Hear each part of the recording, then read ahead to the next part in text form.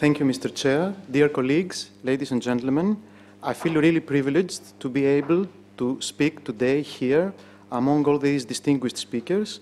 And moreover, it's a particular pleasure, especially for me, since out of a pure coincidence, I can assure you this is a coincidence, uh, my presentation will uh, follow immediately after the presentation of Professor Soria, who happened to be my own mentor, although not much uh, older than me, my own mentor for my own project uh, for an ESMO annual grant.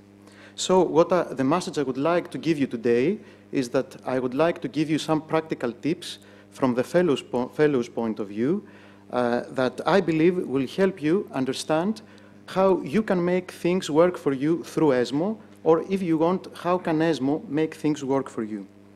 So my first tip, although it sounds very simple, is very essential. You have to search. If you don't search, you won't find anything. So 10 years ago, when I was a young intern in internal medicine, orientating to medical oncology, I decided out of plain curiosity to uh, search in Google if there is a society, a European Society for Medical Oncology, without knowing anything about ESMO. So this is what I came up with, the European Society of Medical Oncology, and I immediately saw that there was a fellowship and award committee, a young medical oncologists committee, meaning that there were specific issues designated for young medical oncologists. I very soon realized that it was very easy to become an ESMO junior member. It is uh, quite simple. All you have to be is young to have a recommendation letter from a full ESMO member. It was and still is very cheap to become an ESMO junior member. And you uh, get very important opportunities regarding a number of educational activities of ESMO, like ESMO educational visits, ESMO fellowships, etc. So uh, one of the first uh, activities that I saw was the ESMO Translational Research Unit or Clinical Research Unit visit. Uh, at that time, it was at the beginning of this process. Uh, I saw that it was a very good opportunity to have an experience, a short experience on a European Center of Excellence focused on a specific topic, and there was a financial support for that. So I decided to apply, and this brings me to my second tip.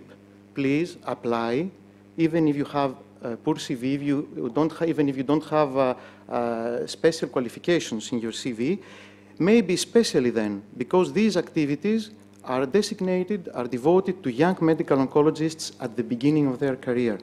So I decided to apply in the first ESMO TRU visit that was to be held in Paris in March 2002 at the Institute Gustave Roussy.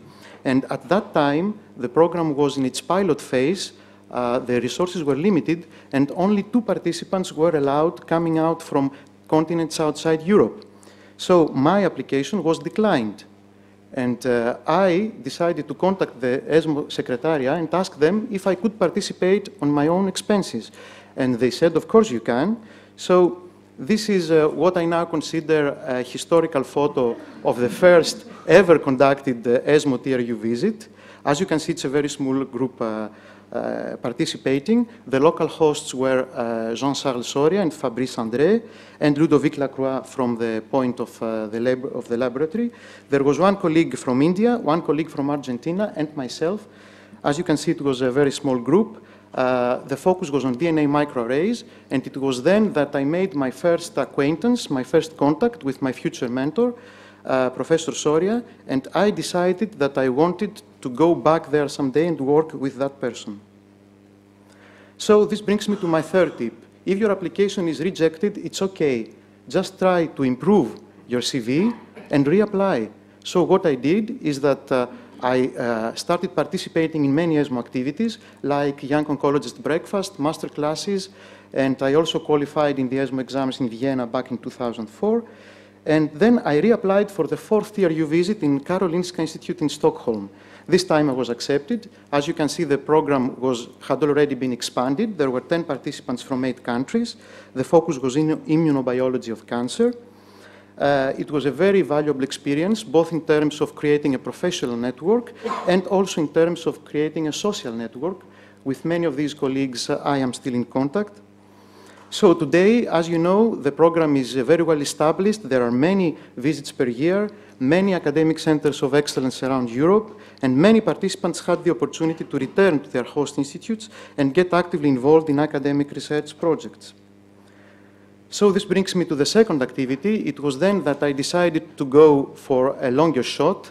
Uh, three years after that first TRU visit, I decided to try to obtain an uh, ESMO annual fellowship you have to have some more qualifications to uh, qualify for this position. And most importantly, you need a letter of acceptance from the host institute along with a detailed program of the planned research project.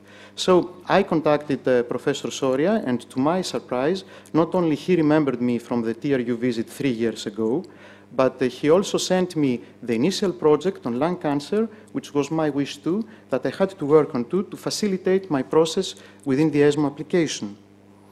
So this brings me to my fourth tip. Do not hesitate to apply for an annual fellowship, even if it looks to you like a long shot. I would like to quote a phrase that Jean-Charles used to use very often when we, during our meetings. He used to say, this is a win-win relationship. And it really is, because it means that both parts have to benefit from it. The applicant will obtain valuable experience from this, from working in the institute, in a, in a very uh, uh, in an institute of excellence, and on the other hand, the institute will benefit from the applicant's work. Um, so uh, it, this was a very uh, precious experience, a very valuable experience. You have your own lab where you can work. Uh, my project was on translational research. The safety and security measures were very important. Uh, but what impressed me more was the teamwork. The creation of, it was the teamwork meaning that uh, when you work in a project like that, you have your own technician, you have your own pathologist, you have your own uh, statistician, and you get together within regular time intervals to discuss all issues that may uh, come up with your project, and these problems are resolved within these uh, uh, meetings. My project was a differential comparison of the signaling transduction pathways in lung adenocarcinoma in smokers and never smokers a, a very hot topic at that time and even now.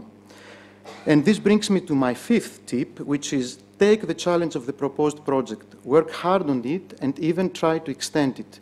And just to give you an illustrative example, when I arrived there, uh, Professor Soria did not give me a complete list of the biomarkers that I will have to study. He told me, Giannis, you will have to study all the biomarkers implicated in the pathogenesis of lung cancer in never smokers. You will have to make your own drawings. And as you can see, these are very amateur drawings made by me in PowerPoint during the first weeks of my uh, fellowship. And then we will go together to the synthesis of these pathways and we'll uh, finalize the, the final uh, synthesis of pathways. And then we will create, the, uh, with the help of the graphist, the pathway and the molecules that we will have to study in our project. So you have to create your own project, not to receive a project that is already made for you. Uh, the project also involved the reduction of a thesis in French, an oral presentation, also in French, as you can see in front of the strict surveillance of my supervisor. Uh, there was also, we also had the chance to present our results in the ESMO uh, European Congress in Istanbul, back then in 2006, in the press conference session. There were also some really nice publications that came out from this work in uh, uh clinical cancer research and a pertinent review in Nature Clinical Oncology. So this brings me to my last tip.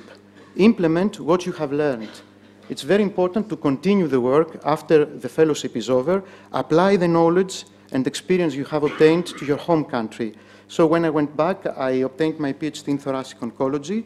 I now serve as a consultant medical oncologist and I'm head of the laboratory for translational research in my institution. Uh, I participate in the member of board of directors of the Hellenic Society of Medical Oncology and the Lung Cancer Working Group, and uh, I have been the first author of approximately 30 indexed publications on the topic of lung cancer. So my general tips are, start from zero. It's okay. It's normal. Search for the grant or fellowship that fulfills best your career plan.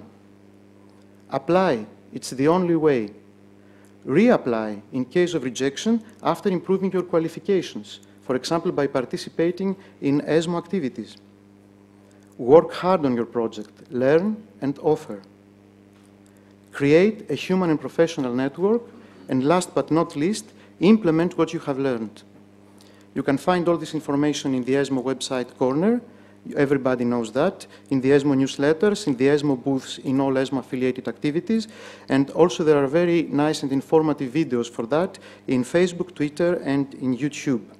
And this is the best picture I was able to obtain during one of my main of my many night landings in Paris. Thank you for your attention.